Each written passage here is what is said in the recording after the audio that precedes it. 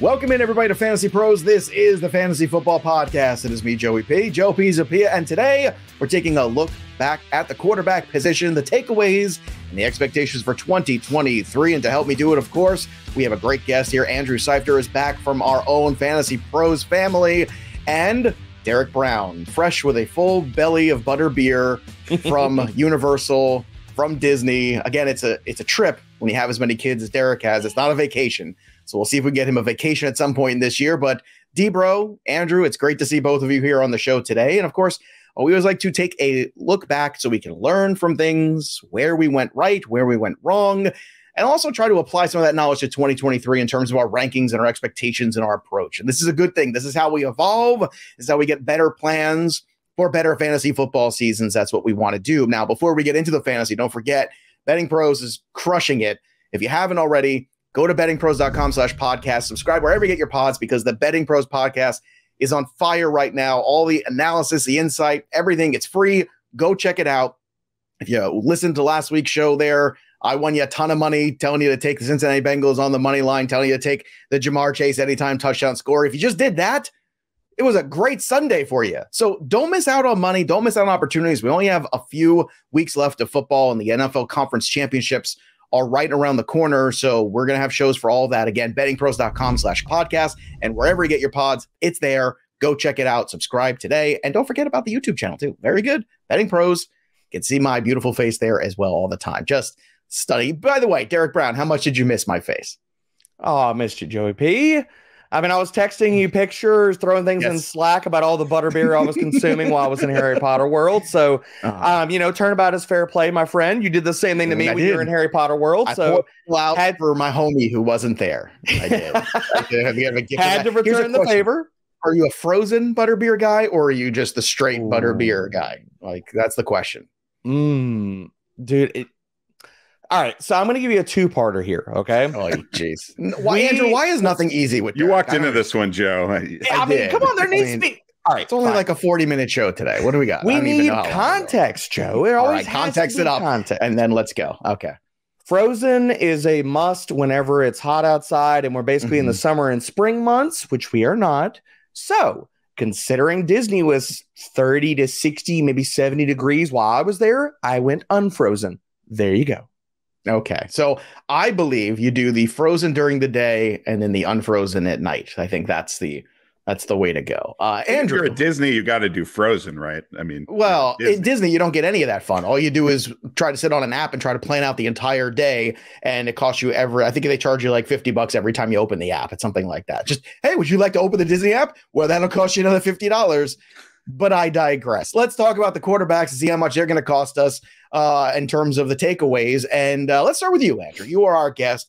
Give me one of your takeaways from the 2022 season here when it regards to the quarterback position.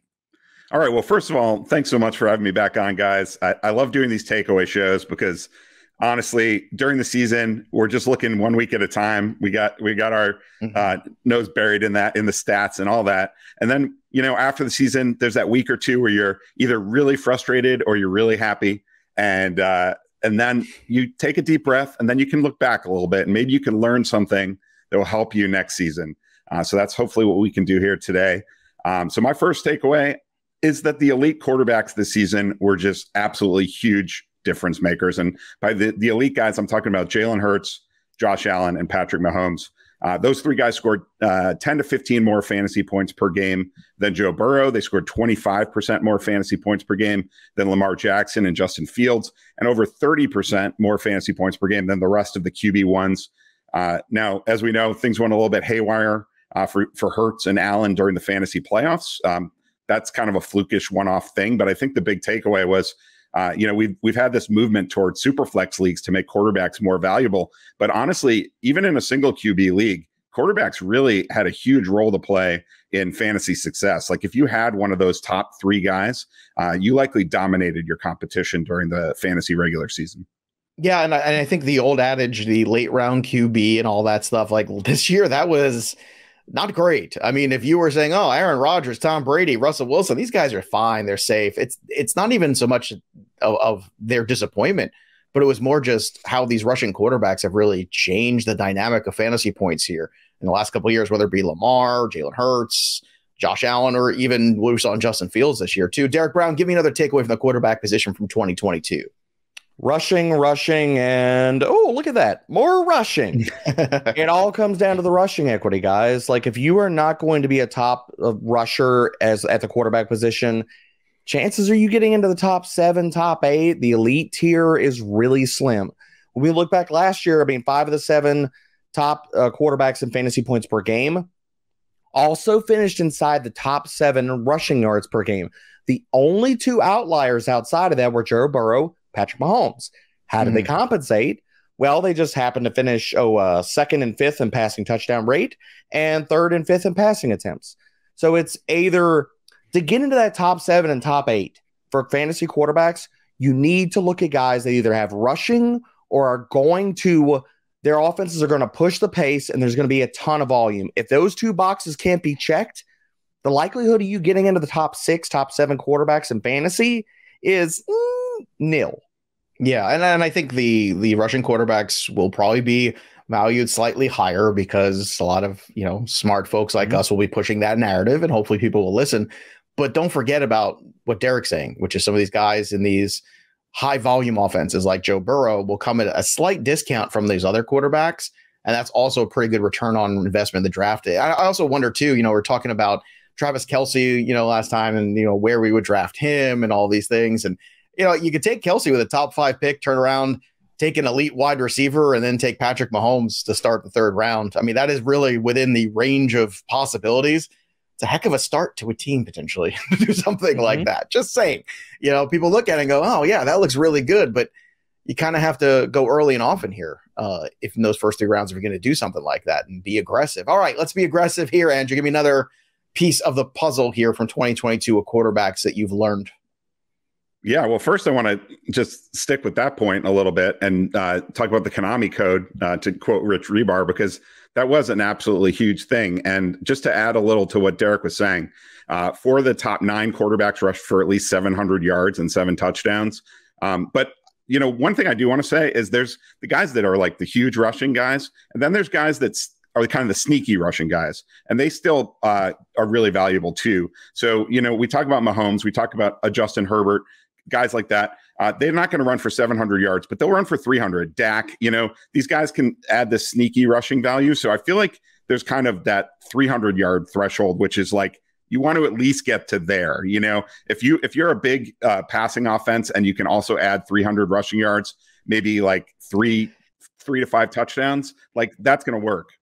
And to your point, Andrew, when you start looking at some of the guys last year who had that 300 ish rushing mark, you're looking at guys uh, like Trevor Lawrence, who I think all of us are very excited about next year.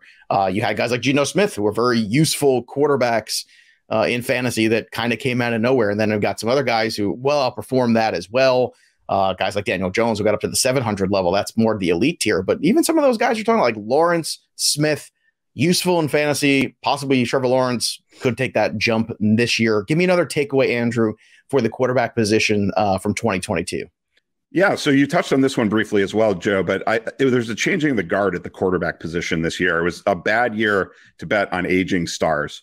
Uh, you know, if you waited on QB, uh, there's a good chance that you settled for one of the previous stars at the position: Tom Brady, Aaron Rodgers, Russell Wilson, Matthew Stafford. And if you did, if you did that, it had disastrous consequences this year. Uh, Brady and Rodgers struggled to get on the same page with their receivers. Wilson rarely uh, showed any sign of the magic that he routinely displayed in Seattle. And Stafford was just running for his life from day one uh, before eventually getting hurt. And, uh, you know, it may have felt all right at the time to wait on QB and get a big name guy like that, but it ended up being the kind of move that could absolutely ruin your season. Yeah, it's a great point. It's so weird too because the Brady one I think was more surprising. I think the Rodgers one we all thought, well, lots of rookie wide receivers, it might not work out as well. Brady is like, hey, these are the same guys you've been throwing to for the last three years it all just fell apart. So bizarre, too. 733 pass attempts for Tom Brady. And year over year, he lost more than 600 passing yards. Basically the same amount of attempts, too. It's crazy. Both over 700. Uh, Debro, give me another takeaway from 2022. What do you got?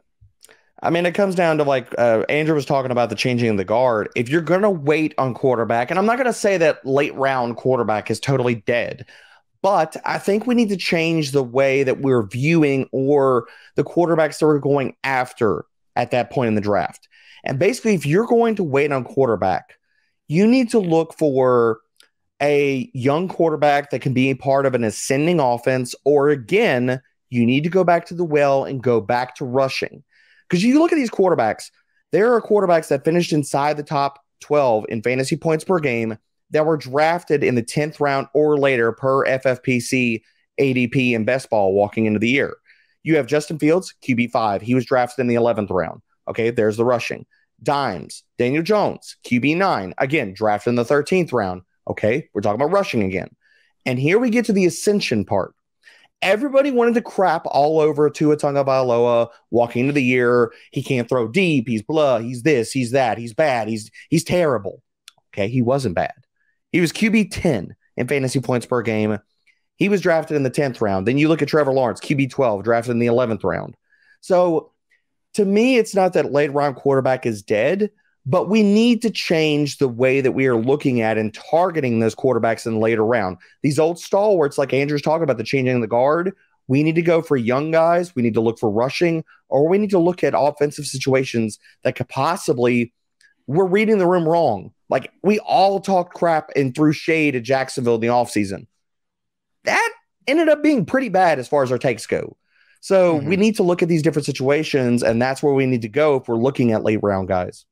All right, uh, fair enough here. Uh, let's go back to you, Andrew. Give me one more piece of the puzzle for 2022. You're taking away.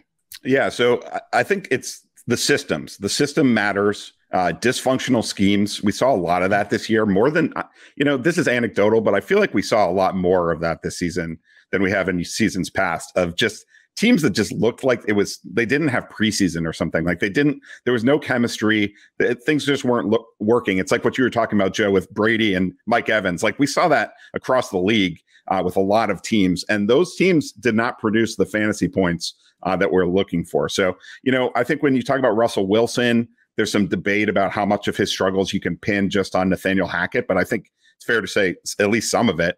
Uh, but then you look at some other uh, dysfunctional offenses that took a toll even on the most talented quarterbacks in the game. You know, guys like Justin Herbert, Kyler Murray, Lamar Jackson, uh, all didn't quite meet their expectations because they were held back by offensive schemes that just didn't play to their strengths. And then, mm-hmm. uh, you know, Derek was talking about Justin Fields. I mean, his season was really a season of two halves, right? In the first half of the season, they did not run an offense that played to his strengths, and he wasn't a usable fantasy option. Then all of a sudden, around midseason, they said, we have one of the best running quarterbacks in the league. Let's start calling some designed runs for this guy. And then he was an, an, elite top three quarterback the rest of the season, you know? So uh, really uh, it's, it's these coaches need to do their jobs. They need to uh, look at the talent on their rosters and not have take lock where they're like, this is my scheme. I've always run and I'm going to run it. The best coaches uh, adapt mm-hmm. to the talent on their team and uh, we that makes a huge difference for fantasy. Like we can say this guy's talent more talented than this guy. You know, I still am not really that big on Tua, but you look at the system, beautiful system for for him, put him in a position to be successful, and he ended up having a great fantasy season. So uh, I think that's something we really have to keep in mind. Those systems matter a, a big uh, deal. They do, and the right people to run those systems. So you're 100 percent right. And the better coaches that have lasted in the NFL whether it be Belichick, whether it be Tomlin, whether it be whoever those guys are, Andy Reid, they cater systems. You know, Andy Reid won with Alex Smith before he won with Patrick Mahomes. And before that, he won with Donovan McNabb. And well, before that, he was hanging out somewhere at the at the buffet. Uh, let's get uh, one more. Uh, actually, I think that's all the takeaways, right? I believe. Uh, Derek Brown, anything else you want to add, maybe potentially to uh, what we were talking about? What about new schemes too? As we look at so many new head coaches coming in, is that also something to be a little leery of, considering how I don't want to pile on Denver, but it's fun. Let's pile on Denver here. All those new things did not gel together with so many quarterbacks potentially moving to new spots with so many new coaches. Is that something to be leery of in 2023? I think we need to take that situation by situation. And I think some of the things that we we're looking for takeaways and we're also high on Denver. And then we saw the bus potential and the horrible season that Russell Wilson had some of this we need to look at different situations. Is are we adding a quarterback to an entirely different offensive personnel? Or are we just adding a coach into the mix and the quarterback already has rapport with said running backs, offensive system. Like every situation is going to be a little bit different. So, like, depending on who lands in Arizona, I'm probably still going to be high on Kyler because regardless of whatever happens to DeAndre Hopkins, we know Kyler's going to run. He still has Marquise Brown. He still has Zach Ertz. There's going to be continuity and familiarity with those guys and pass catchers. So I think we need to take some of the offseason moves with and put them in their own different buckets. Like this quarterback's getting transplanted to an entire different offense. He has to learn and build rapport with, like, say, Aaron Rodgers moves this offseason. Mm-hmm. Okay, mm-hmm. well, Aaron Rodgers is not that big on spending a lot of quality time with his offensive personnel in the offseason. Okay, so is their rapport going to struggle out of the gate versus, okay, well, it's all the same skill guys in the same offense. We're just hit, we're, we're airdropping a coach in a different scheme into that system. And how's that going to look? So I think each one of these things, we're going to take it and put it in its own different little bucket for next season. All right. Yeah. Uh, go ahead. I, I was going to say, like, I, I, think that's a good point on the rushing. I think it, the quarterbacks that have the rushing, that's another reason that's a huge appeal, is because when things break down, they often do their best, you know? So mm-hmm. uh, they don't necessarily have the same, they don't need the same level of precision in their offense that the drop back passing quarterbacks do. Uh, so I think that's a, that's a really strong point there. And then I would say just my approach would be, the guys I want to take at the top, if I'm spending an early round pick on a quarterback, I do want that continuity. I want to know mm-hmm. exactly what I'm getting uh, with my quarterback. Um, but then I agree, once you get past th- those guys, uh, then it becomes a case by case basis, like Derek said, where you, you look at each individual situation. Agreed. All right, let's get to the hits and misses. Uh, give me two guys, Debro, that you hit on in 2022. And I'm sure one of them is going to be the guy in Philadelphia. Well, I'll bury the lead then a little bit. I'll start with Tua Tagovailoa. Um, right, I was extremely high on him walking into the season, and all he did was ball out whenever he was healthy and on the field. QB ten talked about in fantasy points per game. He in his eleven games that he had ninety percent or higher snaps, the guy had four, uh, well, five games inside of the top four quarterbacks.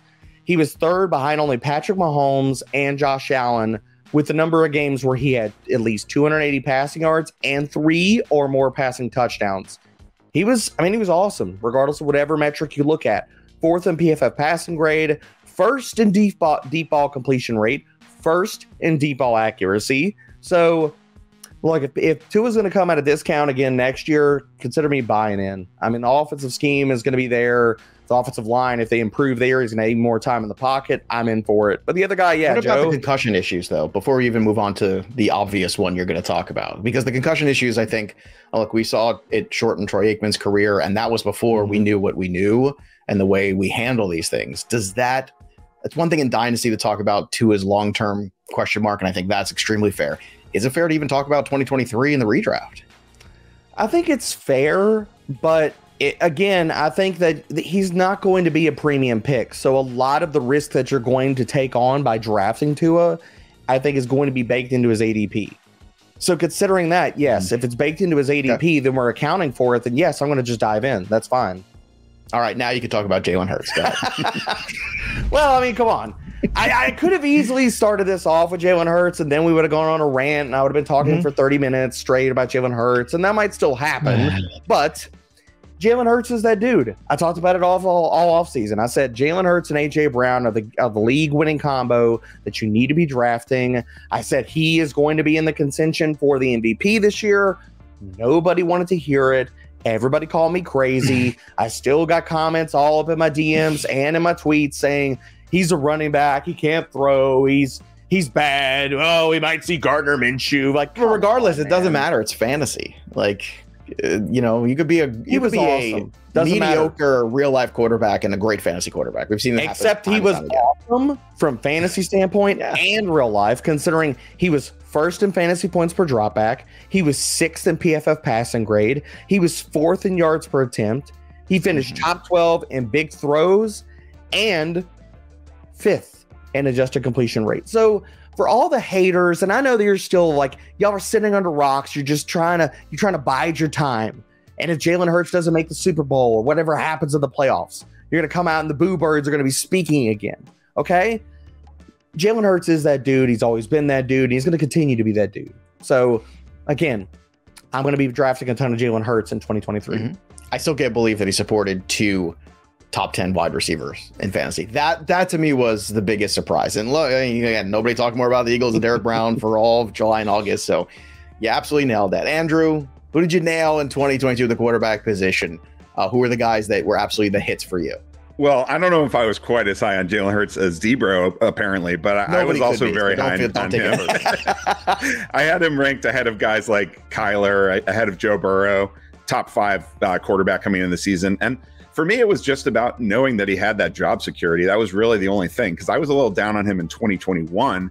And the reason was I was just worried if he struggled in real life, he could then you could see Gardner Minshew. But after what he did in 2021, th- there was zero chance, as far as I was concerned, he was going to lose snaps to Gardner Minshew uh, this last season. So we already knew that when Jalen Hurts plays, because of the rushing ability, he is a fantasy superstar, even if he didn't take any steps forward as a passer. But again, there was every reason to believe he would take steps forward as a passer, both just because he had more experience in the league and because AJ Brown was coming to town. So uh, he had, uh, you know, elite weapons coming into the season, uh, a good scheme and that rushing floor. So uh, I, to me, it was like a very safe bet uh, to go with a Jalen Hurts, like right there with a Lamar Jackson. And he ended up being a lot better than Lamar Jackson uh, in the end. So he was one guy I was definitely buying into as well. Uh, the other, I'm going to go a little bit deeper here and go with Geno Smith because I, I was looking at my rankings and who I was above uh, the expert consensus on in my draft rankings. And I was quite a bit ahead of consensus on Geno.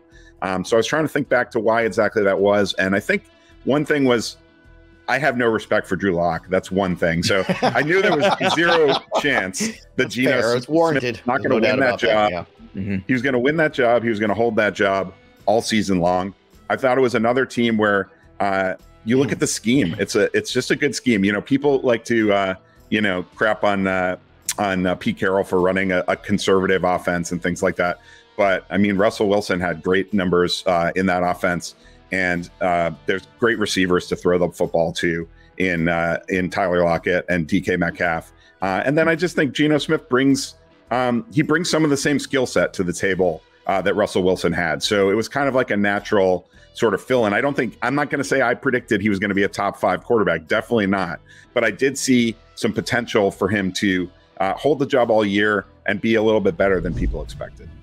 All right, those are look. The Geno Smith was certainly a guy who saved the bacon mm-hmm. for so many people in Superflex leagues. I mean, jeez, like what, what a great return on investment he was. Superflex was rough this past year. Like if you won Superflex leagues, you did a good job. It wasn't luck.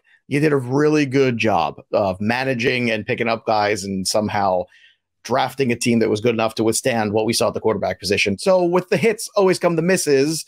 So we'll hold ourselves accountable. Andrew, when you start, kick things off. Who did you miss on in 2022? Well, we talked about him a little bit already. Russell Wilson. I mean, uh, uh, I, am not the. I'm far from the only person that got burned uh, buying into Russell Wilson, but I really. It was a burned. collective fail from the fantasy football community at large, and yeah. I think. I think I don't think it was lazy. I think we all just wanted to look at upside. We just wanted to. We saw it as such a positive thing. Get him out of Seattle. Look at the weapons. But meanwhile, he was leaving Tyler Lockett and DK Metcalf, and I don't think that was given enough respect to. And I think new isn't always better.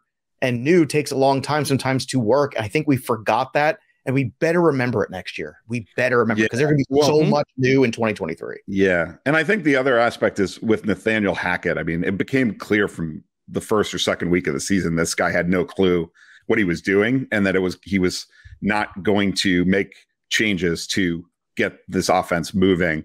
Um, and I think that that's something we can learn from in the future. That these guys that come from a, an elite offense, you have to you have to ask yourself the question: Are they the reason that that was an elite offense? And did they actually learn what makes an elite offense from that experience, or did they just happen to be in the right place at the right time? And I think with Nathaniel Hackett, we can kind of say now he was just in the right place in the right time um, with Green Bay. And uh, you know, with Russ, I I, I think you look back at his time in Seattle, and really the keys to his success were uh, kind of playing off script and and just having amazing chemistry with his wide receivers. And those are things that are hard to translate to a new situation when you've got new receivers, a new scheme. Like I said, Hackett didn't really let Russell Wilson play off script very much. He was trying to uh, fit into a system that just didn't work and they were doing they were just making the same mistakes over and over again not adjusting i think some of that falls on russ some of that falls on hackett Um, and and and you know, I I just don't think he ever. It takes time to develop the kind of mm-hmm. chemistry that he had, especially with Lockett.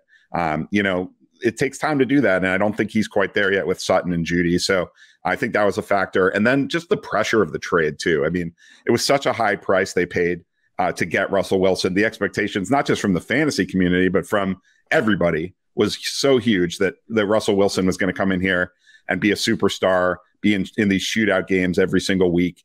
And I think you could kind of see that weight on Russ. I think he, I think he was really trying to meet those expectations so hard that he that he fell flat on his face.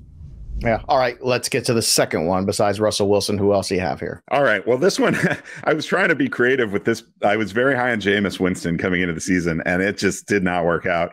Uh, I'm pretty pissed at uh, at Dennis Allen for not giving him more of a chance uh, this season. But I mean, you know, you take the good and the bad with Jameis, and he had uh, some really great moments in those first three games. He had some really bad moments in those first three games.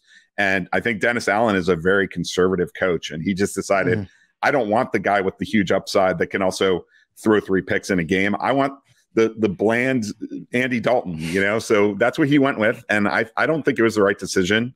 Uh, I think it hurt their team, uh, their team's potential. Uh, basically, cap that potential. Doesn't mm-hmm. give them any sort of knowledge about what they're going to do going forward because Andy Dalton's obviously not a long term solution. So maybe Jameis isn't either, but they could have at least found out, you know. Um, so I talked myself into Michael Thomas that blew up. I talked myself into Jameis. Uh, it just it it was ugly, and I think the Saints are kind of a team that is still living in the ghost of Sean Payton and Drew Brees, and they're you know trying to do the same things with without those guys, and it just is not happening. I got a hot take, maybe. Uh, I think Sean Payton and the New Orleans Saints should just get back together after a year off, and he should come back.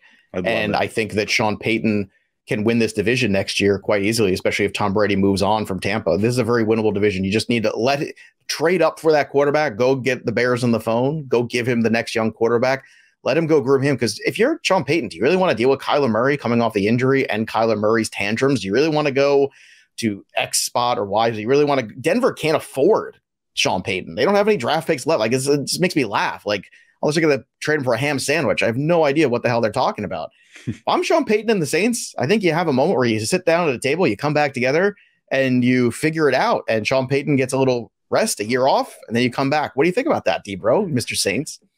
That would make me elated. I would I don't, absolutely. I don't see, I don't see where Sean like unless the Cowboys decide they're done with Carolina. McCarthy. Carolina can happen. I could see that it being yeah, a landing spot. They have a lot of draft picks. They have an owner that's willing to sit here and how many draft picks, bro? That's not going to happen. They're not going to. They're not going to give their old coach in the division. It's not going to happen. You know that. I know that.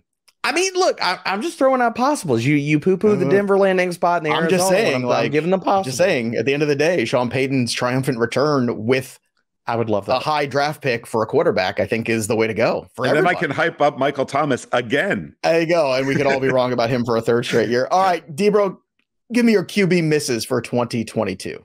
Well, Andrew already talked about Russ. I don't think we need to uh, sit here and pander on anymore about Russell Wilson. He was bad. He was still going to be bad. I will say, just to put the uh, the tie the bow on Russell Wilson for 2022, is that I I'm not going to say that I'm buying in for next year, but I am no, saying that there is a glimmer no. of hope. No, hold on, hold on. There's a glimmer of mm-hmm. hope for Broncos fans out there because over the last four weeks, with you know Hackett being gone, things like that Russell Wilson over the last four games of this season was a top five QB in three out of those last four games. So just a small glimmer of hope. Although I will own the giant L that was Russell Wilson, the attached Courtland Sutton loved. I mean, it's it's yeah, all he was QB bad. ten going into the year, and he finishes QB seventeen. So that's a pretty yeah, substantial. He was, bad. He was bad. Um, and the other guy that we had to talk about, and you mentioned him earlier in the show, Joe, is Tampa Tom Brady. Tom Brady was terrible. And I think that we could also learn from this moment in the sense of like, eh, we talked about takeaways earlier in the show. Sometimes if we see four to five weeks of an offense just looking like there's there's a piece missing, something's off, everything, and we're like, okay, they got to get right, right? They they they mm. got to right the ship. Well, Russell Wilson didn't happen all year. Tom Brady didn't happen all year. Aaron Rodgers didn't happen all year. So maybe the other takeaway for this year and attaching this to Tom Brady was that we should have hopped off the boat before. I mean, it was time where okay, your your, your fantasy team was sunk. You're eight weeks into the season. We're all saying, okay, they're going to turn it around, right? Didn't happen. Yeah. Okay. Here's what's so fascinating about Brady is 719 attempts in 2021, 67 and a half completion percentage, right? Yep. 5,316 yards with 43 touchdowns and 12 picks. This year, 733 attempts. I remember he didn't really play the last game either, so we could really compare it properly. 66.8 completion percentage was right around the same spot. 4,600 yards passing, 25 touchdowns. So the touchdowns got cut in half. And look, it wasn't even a lot of picks. Dude, 12 picks last year, two years ago. Last year, nine picks. So it was just the the conversion rate was just horrendous. Like everything just kind of fell apart in the offense completely. And look, Byron Leftwich is also gone completely. They did So nothing. Like he did nothing with the volume, Joe. Like he was No. absolutely terribly inefficient. We're looking at Brady was 30th, 30th in fantasy points per dropback. Basically, the one egregious thing, and I and this is why I think that you consider and point to some of the Byron Leftwich stuff and, and him being ousted, was that they neutered Chris Godwin into like this Deebo Samuel, like three to four yard aDOT type of role. And it's like, what the heck are we doing here? You're not going to use Chris Godwin from the slot down the field. You're not going to put him on the outside. You're not going to let the guy stretch the field at all. It was basically the same terrible, boring offense every single week. We have a bad offensive line. We're going to run Lenny up the gut 20 times a game. Chris Godwin's going to run his short little crossers and do nothing with them. And Mike Evans is going to run go routes every single freaking snap. And Tom Brady's either going to airmail him or throw it on his back shoulder and he's never going to catch it. It's like you have to learn and pivot at some point, Byron, right? I feel like there's got to be some story to this Brady Mike Evans thing. It's like it just seems like there has to be something else there. Like, did they have some sort of like uh, you know disagreement at a kid's birthday party or something? Like, what happened? Because I don't like they just they all season. I, I'm the kind of guy I usually like to bet on volume. You know what I mean? Like, if there's enough volume, gave you that. eventually it's going to pay Yeah, off, right? yeah. And it just never paid off with Mike Evans and Tom Brady. And I, I will also say, Joe, all those stats you were citing off. If I was Rob Gronkowski's agent, I would be mentioning those everywhere. Bring bring this guy back. He was the key. Like they Rob was, Gronkowski was the key to that. He was because because he and Gronk have that relationship where you just know where each other's going to be because of all the reps they have and the trust they have. But it seems like the trust factor fell apart. You're right for Evans and Brady together, and just they were not on the same page. All even in the playoffs, we saw it. You know, the one time we saw it was Week 17, where nobody wanted to start him in the freaking fantasy championship of all places. I, I just you know, which has got to be frustrating. Uh, so let's leave those frustrations in the past. I like Let's- Andrew's birthday narrative there because if we harken back It's to draft season, Chuck E. Cheese, rough time. Jalen Hurts and AJ Brown got the Mickey Mouse birthday right. Okay, so Mhm. maybe Tom Brady Maybe. and Mike Evans should have taken Maybe. a page out of that book. Just saying. It's possible. Saying. Birthdays are very important. Maybe didn't send a card. All right, let's get to the bold predictions for 2023. We're going to lightning round through these, give everybody quick predictions. Uh, Debro, why don't you kick us off with your number uh, four prediction here? We'll go. Uh, I, don't, I don't know if you want to do like countdown style, yeah, let's go. whatever your style. hottest take is, whatever that might be, the boldest of the bold. Maybe we'll save that for one. So give me one Yeah. here off the bat that you like. So I think Minnesota Vikings add a first round wide receiver to the mix in this year's draft, and that makes Kirk Cousins a top three fantasy quarterback for next year. All the things are there. All we need is better receiving weapons. He was Mhm. fourth in passing attempts, second in red zone passing attempts. The guy was at third in red zone passing rate. So if you add somebody to the mix that's going to sit here and throw maybe Adam Thielen into the slot, give him a field stretcher, and now we got Justin Jefferson and TJ Hockenson, Kirk Cousin, man van top three quarterback season. It's on the way, baby. All right, that's very exciting potentially. let's let's hope that that goes well. Someone asked me, "Can you win a, a Super Bowl with Kirk Cousins?" And I said, "Yeah, you just got to give him a defense and stop asking him to come back from thirty points every week." I think and no primetime games. and no, yeah, zero primetime games. Everything's in the afternoon, and uh, yeah, that'll do. All right, Andrew, give me one of your bold predictions for twenty three at the QB. All right. Well, I didn't organize them by hot takiness, but I'll we'll start just save with the one best that I, one I for know last. that Let's just do Debro- that. Not even hot because I don't like hot takes. I like bold, good predictions here that you've quantified for a reason. That's what All right. Well, I'm going to start with the one I know Debro will disagree with, and that's that Good, Tua. Tagovailoa is the new Jimmy Garoppolo. Oh, You know, I think there's a lot of comparisons that you can draw between the Dolphins and the 49ers. And I think a, a, lot of the time those comparisons are about the running game um, because we know uh, that Mike McDaniel brought the the uh, 49er style running attack to Miami.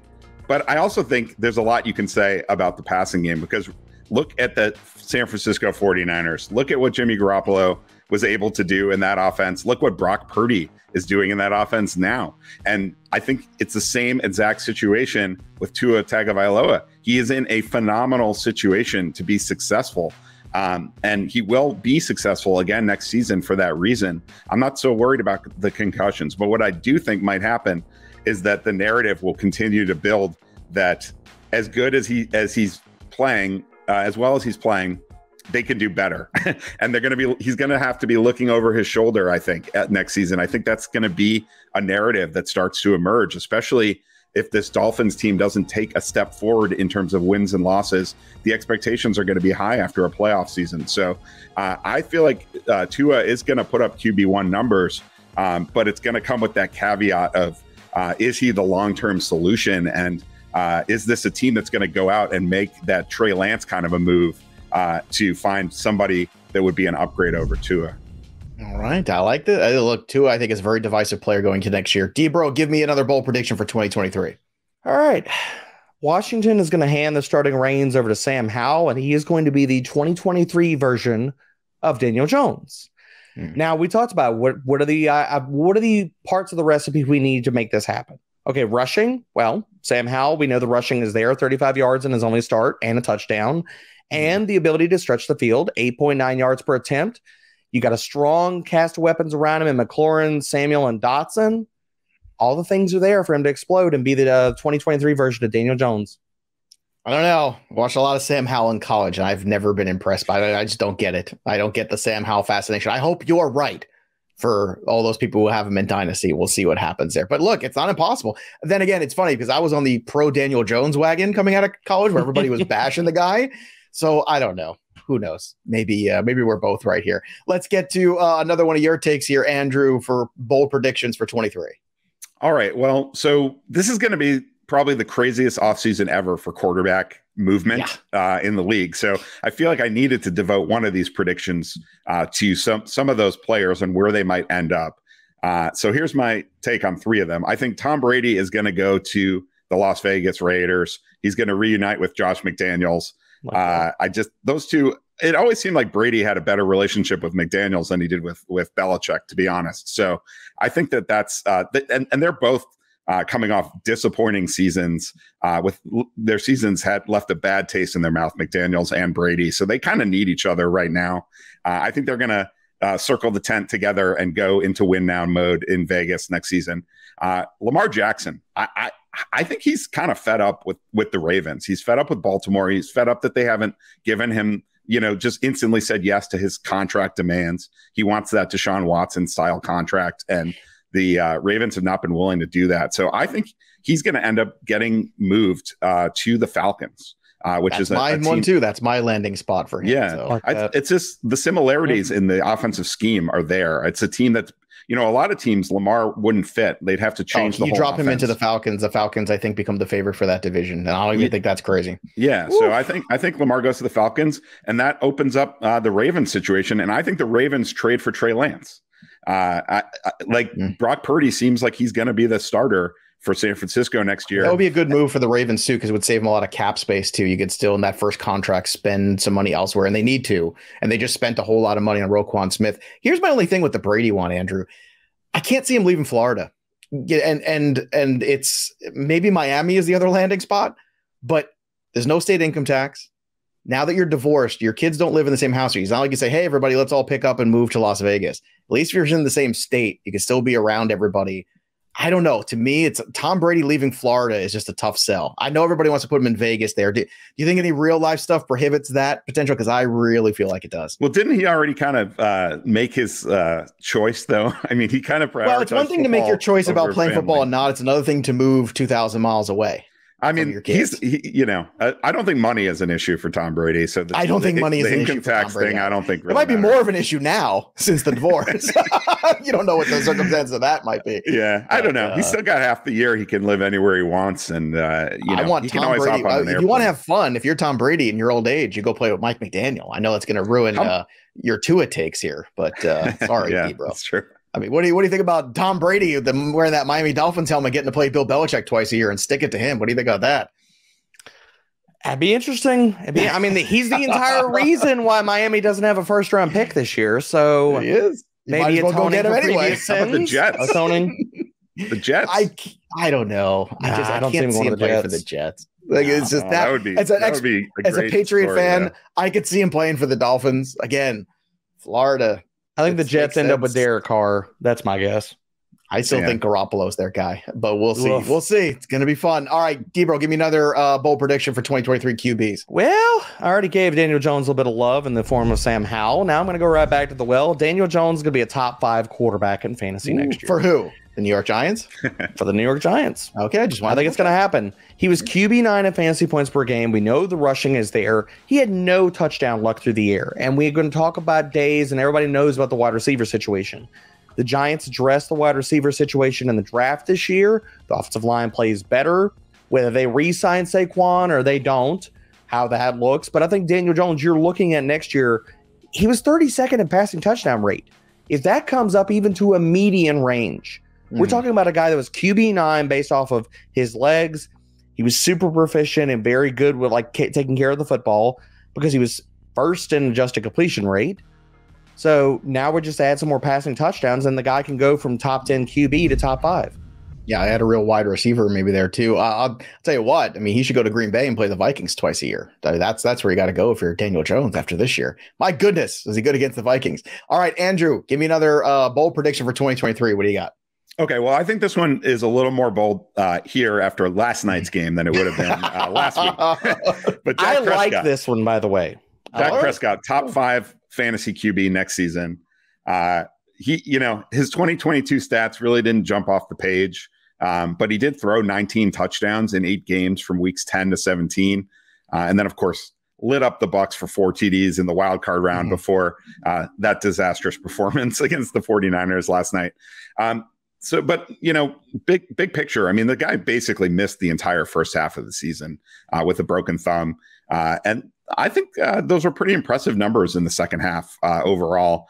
And uh, you know, he should have plenty of weapons next year. I mean, Michael Gallup was, uh, you know, hurt coming into the season, so we certainly didn't see his best. Um, Dalton Schultz, I think, will either be back or they'll bring in somebody else of a similar caliber.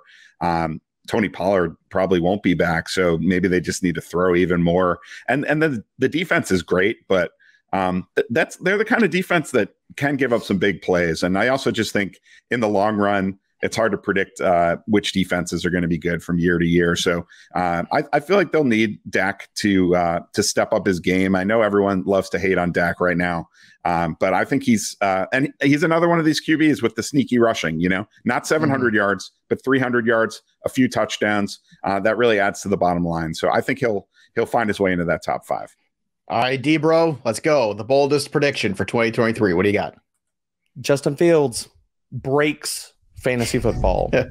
you look at weeks 7 through 18, the guy was second in passing touchdown rate. He was 22nd in passing attempts. If the volume comes up at all, this is a guy that over that stretch was averaging 25.4 fantasy points per game. Since 2015, guys, there's only been three quarterbacks that have averaged that or higher.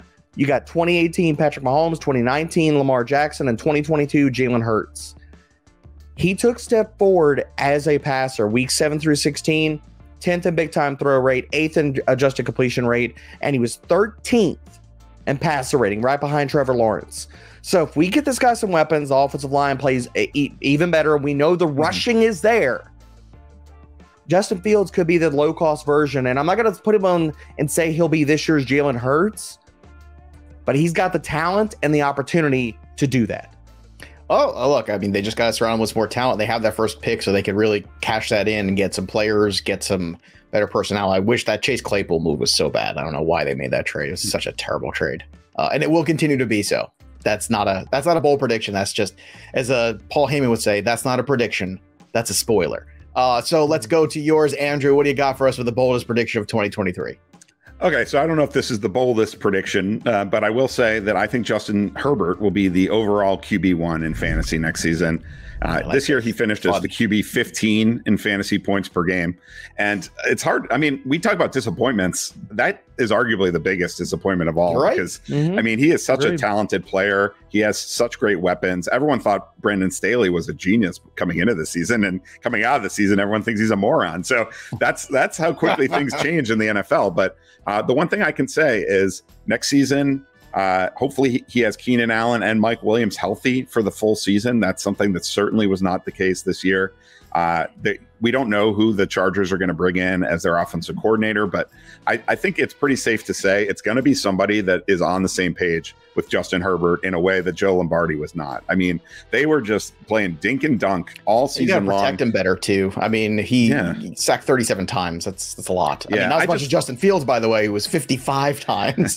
so you really want to talk about like if you have that first pick, maybe if you're the Bears, maybe just take an offensive lineman. Just yeah. But go ahead, Andrew. You know, I think Brandon Staley. I think he's a smart coach. I think he's going to look. He's going to dissect what the holes are on this team and mm-hmm. what they need to fix and they're gonna they're gonna build an offense with input from Justin Herbert that really plays to his strengths. They're gonna get him, you know, he's gonna get that that sneaky rushing value too. But I think he's gonna be airing the ball out next season and be the overall QB one. I think it's dangerous for them uh, to rely on Mike Williams and Keenan Allen going forward. I think Keenan Allen has hit his window, Agreed. and I think Mike Williams, where we finally have to just come to that moment where we say, "Hey, Mike Williams." Can't stay on the field, can't stay healthy for a full season. They need to do something else there. I think I don't know what it is. They should have drafted a wide it's receiver last year. They need to draft one this year. I'm sorry for all the Josh Palmer stands out there, but he's, well, he's not Palmer's nice, guy. but he's not an alpha. he is guy, not that guy. He cannot no, carry not. a passing attack. And I just like we realized Keenan Allen's older, and Mike Williams mm-hmm. is just not going to happen. It's just frustrating. So we just have yep. to move on. All right, listener mailbag. Let's hit this real quick here. Obviously, you can join our Discord. It is free to join. FantasyPros.com slash chat, where the conversation is always turn to fantasy football. Uh, this one's from Cam Ferg 10. Half PPR, choose two to keep for next year Swift, Pollard, Garrett Wilson, Olave, and Stevenson. Debro, who are your two guys in half PPR you're keeping in this group? I'm going with Chris Olave, who looked like a budding alpha this year. I don't mm-hmm. care about the quarterback situation for the Saints. He's going to be their number one option. Give me Chris Olave, and I'm going to go Mondre. Mondre yeah. looked like the discount version of Alvin Kamara this year. The, the Patriots offense is any better next year, hmm. he's going to be a top three running back. Can it be worse? Uh, I'm going Wilson and Olave personally. That's my duo here. Uh, yep. You know me. I like those wide receivers. Those are the guys I keep. How about you, Andrew? Who are you keeping here in these two? Uh, I don't know if you said the format, but uh, generally half I, PPR, half, half PPR, PPR, Swift, I, Pollard, Wilson, Olave, Stevenson. Some good problems to have, no doubt. Yeah. I mean, given that you're only keeping two, I will take a running back in that situation. Um, and so I'll go with Rhamondre. And then I think Garrett Wilson, I, I give the edge over Olave as well. There you have it. All right, everybody. Uh, make sure you go join our Discord again, fantasypros.com slash chat. And don't forget, because just, you know, fantasy season is winding down here. Obviously, we are in the uh, championship game time, but that means the betting season's heating up. Go check out bettingpros.com slash podcast. Subscribe to the Betting Pros pod wherever you get your pods. It's a great time, way to make money, way to use that fantasy knowledge too and turn it into cash because you're talking about prop betting, all these other things. You're already doing all this work. You've done all this work all year. Go cash in on it. Uh, and of course, make sure you follow Andrew Seifter over on Twitter at Andrew underscore Seifter. And of course, check out all of our work over here at Fantasy Pros. That'll do it for us. But the story of the game goes on. For Andrew and Derek, I'm Joey P. We'll see you next time, kids. Thanks for tuning in to the Fantasy Pros YouTube channel. Don't forget to check out our featured videos. And while you're at it, make sure to follow us on Instagram, Facebook, and Twitter at Fantasy Pros so you can get the latest news and updates to give you the edge you need in your fantasy league.